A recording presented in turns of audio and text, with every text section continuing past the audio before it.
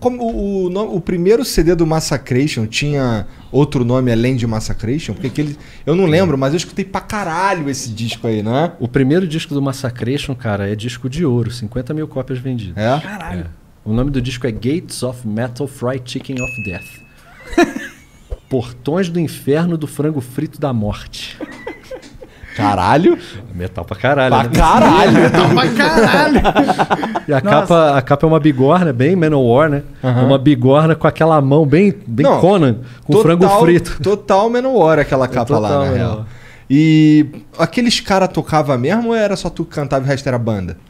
Cara, na, na nossa época, que a gente regula a mesma idade, o cara não queria ser, sei lá, influência, não tinha internet. O cara queria ser rockstar. O cara queria aprender a tocar guitarra, queria aprender a cantar. E todo mundo do Hermes e Renato tinha uma ligação com a música. O Marco Antônio, que faz o Hermes, o Fausto, que fazia o Renato, eles faziam aula de guitarra. E eu Eles conheci. tocavam mesmo. E, o Marco Antônio ele, ele, trabalhava, ele trabalhava numa loja de death metal. Caralho. A loja era aquelas, era aquelas lojas, tu entrava, era tudo preto. O pessoal pintou a loja toda de preto, cara. O teto. Total tudo, dark. tudo umas velas. Caô que tinha vela. Juro por Deus, cara. Tinha umas velas. Tinha umas velas. E os caras tudo sen- não tinha, né? Cadê todo mundo sentado no chão, cabelo na cara, ouvindo sepultura assim.